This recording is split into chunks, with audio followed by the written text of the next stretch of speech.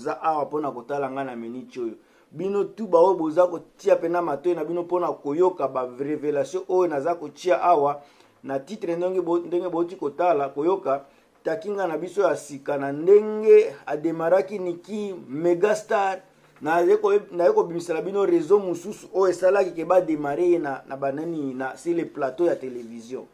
oyo eza baverité baanalyse oyo naza kosala mpona nini uh, baanalyse naza kosala mpona ndeko na biso fali pupa oyo alekaki na nini na nini na na plateau ya nani oyo ya noliti nani soki na ti lokole en tout cas mpo na nga leso des analyses oyo naza kosala à partir ya ba nini à partir ya émission oyo basalaki wana mpo nakɔta na kati mpenza na detail bien nalingaka nano napesa mbote na baoyo baza kosoutenir ngai makasi surtout bana tu ya europe wana kobanda na belgique uh, france suisse allemagne ah, grande bretagne mobimba irlande na finlande suède norvège pollande bino tu wana napesi bino mbote na bao baza mopanzi ya poto grèce na, na turquie boza pembeni ya poto boza, boza mpena bavoisin napesi bino mbote nano bokomi na poto te uh, bana chine napesi bino mpe bachinois nyonso mbote ya trop sans oublier boss de boss trésor kanza le boss ko nazongeli yango lisusu et puis na kote ya australie ba nouvelle zelande soki nazongi na afrike mobimba napesi bino mbote congo congo braza ba afrique du sud ti na algérie ba côte d'ivoire na ba camerou bino tu nalingi bino trop na canada awa mpenza na colombie britannique nabosani te soki nazongi na alberta na winnipeg ba saskatoon tuni kuna ba saskatchewan ba montreal toronto uh, québec ba ottawa napesi bino mbote soki nakiti na grand monde états-unis bana bana nani oyo bana sacramento bana texas bana maine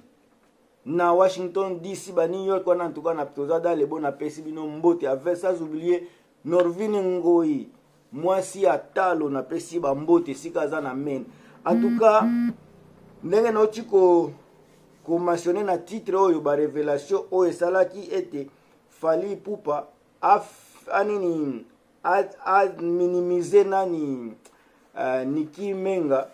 eza nango na mukuse eza mulayi te mukuse kaka eza analyse qui n'engage que moi en tout cas oyo na ko blesse je m'excuse mais eza analyse bo bino pe soki bomoni ke nasali erreur bo corrige nga na kati ya ba message wana ekosala nga pe kitoko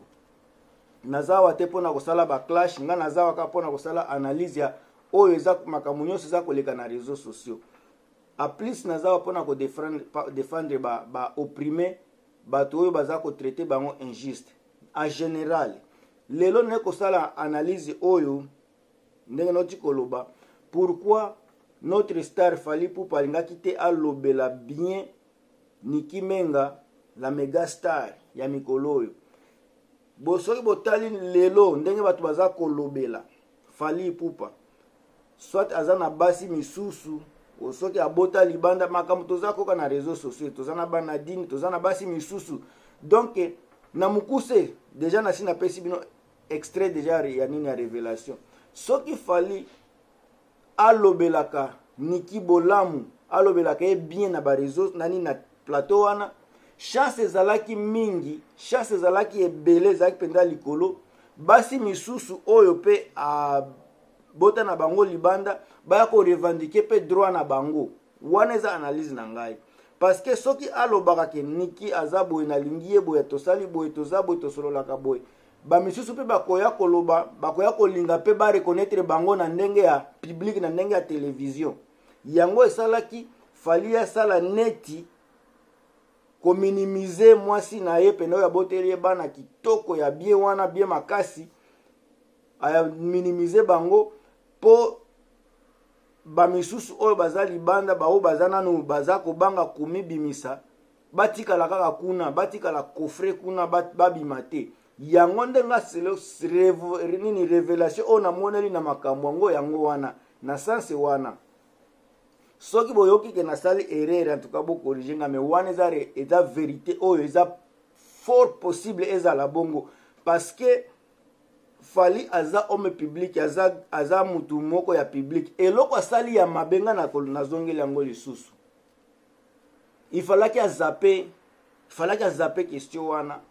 soit ifalaki basolola bapose question wana te mpo question wana eye komema lisusu makambo ebele na bareseau sociaux me makambo oyo basujet oyo esi eumeli mingi tokomi oblige ko change yango mpo eumeli ekomi mpenza monotonie tokomi kozongela meme chose meme chose eloko na kosenga kaka na bino baoyo bosololaka na megastar na biso ya mikolo oyo niki menga soki aza na bapreve abimisa mpo fali alobi aza na bapreve ye mpe soki aza na bapreve abimisa komsa makambo oyo esuka na kimia soit entre bango kuna me makambo oyo mpo ekende na bien esuka na kimia en tout cas kote mususu toyoki nk officiel de bundes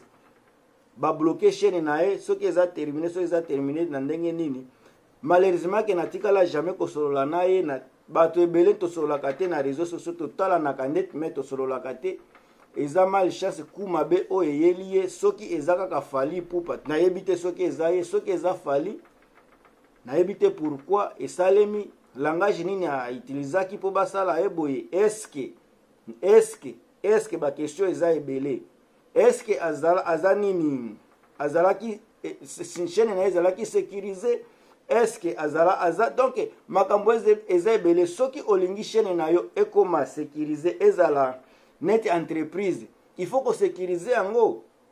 comme ça eloko nyonso ekoya oza na capacité ya kokende konini kodeklare makambo nyonso mpo bosamba lisusu mais soki osalaki yango te ekozala trop tard lelo okokoma deja na nini eloko na kosenga mpe na fali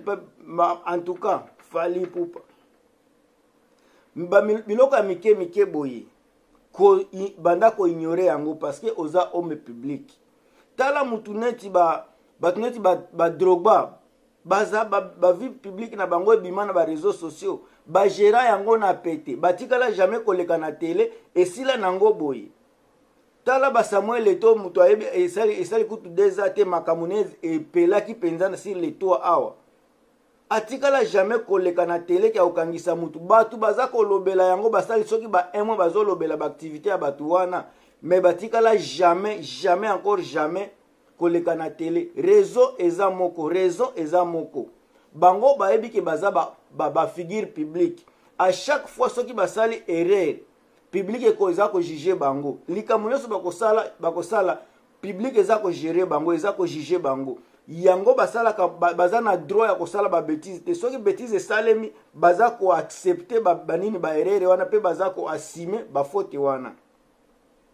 pourquoi epa na biso sika ko, il fallait koasime il fallait kifale asime baresponsabilité ba na ye keno makambo ebimi euti ekomi deja na réseau sociaux eza su na niveau na ye te ekomi ya mutu nyonso eza ye koasime responsabilité parce que aza personne publique okoki kosachane contre bayoutubere te s'il vous plaît soki osachane contre mutu nk de bundes saratola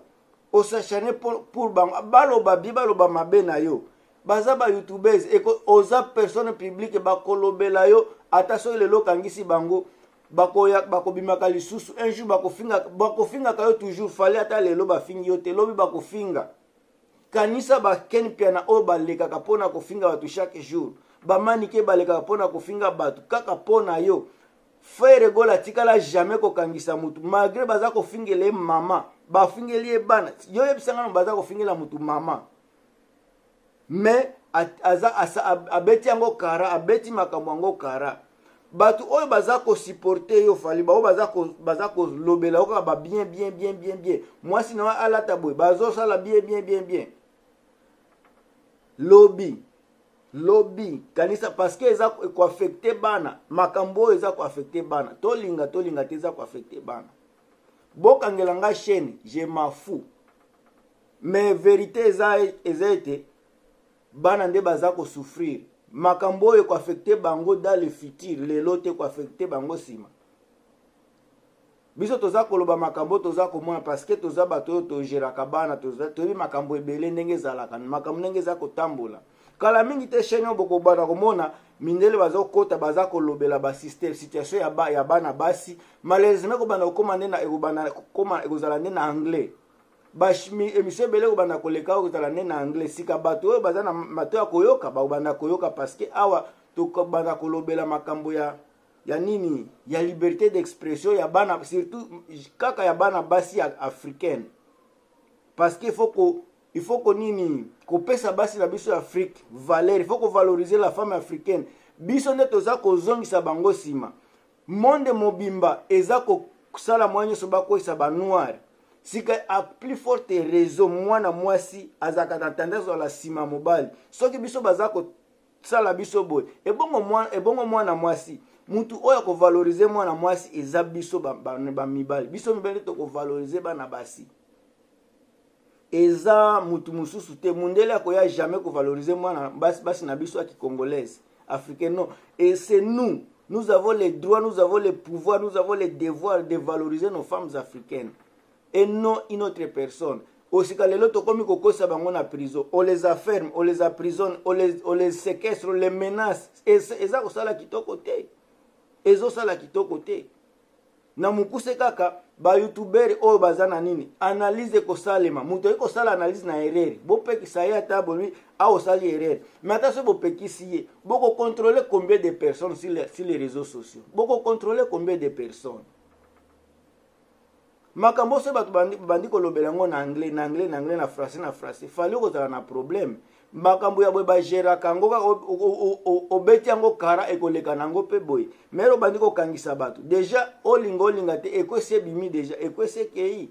banani baivoirien bayebi makambo wana bacamerounais bayebi ezosala kitoko te na personnalité na yo lisusu ezosimba te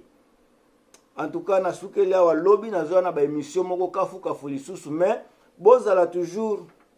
à l'attente ya baémission ekobanda kozala nazo banani ba, ba, ba, bainvité ba, baza déjà na ligne eza na baoyo bakobanda kota ya ba, ya, ezala ya mindele ya banoire oyo bakolobela afrike mobimba oyo bakozala spécifique kaka na afrike mpo na basi na biso na bana ntuka ekozala kafukafu bozala toujours wana bosabone massivement donc bokozalaka jamais desi parce que chaîne oyo ekovalorize la personne ya mwana ya, ya baafricain eza kovalorize basi na biso ya kiafricain eza kovalorize bana na biso ya africain en tout cas on est dans le bon bocontinue kosupporte chaîne oyo parce que eza chaîne na bino ekomi chaîne ya